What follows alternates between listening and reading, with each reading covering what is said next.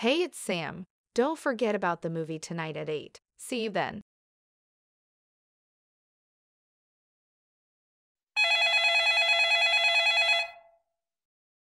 Hey, it's James.